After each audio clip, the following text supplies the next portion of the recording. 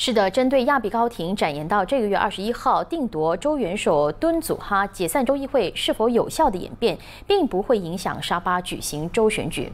选举委会下午五点四十分宣布，第十六届沙巴州选举定在九月十二号提名，九月二十六号投票，竞选期前后十四天。Setakat ini SPR tidak didapat apa-apa arahan daripada mahkamah.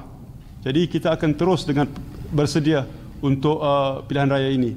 Ya, jadi uh, sehingga kita dapat arahan daripada mahkamah, kita akan terus dengan tanggungjawab kita.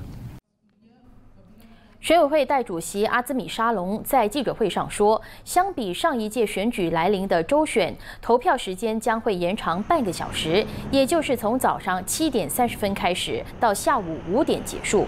还有一项重点是，人不在沙巴，但是有意履行公民责任，无论身在国外、沙拉越或者是西马半岛的沙巴州选民，即日起向选委会登记，申请通过邮寄管道来投票。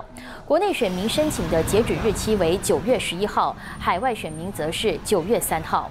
选委会预算这一届周选将会耗资一亿八百六十万令吉，选民投票率估计可以达到百分之七十。